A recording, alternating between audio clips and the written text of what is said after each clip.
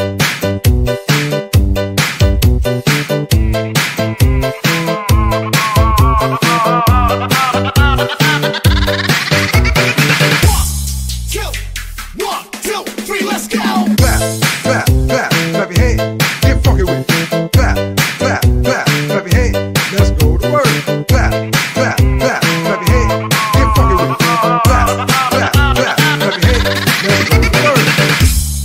Let's go to work.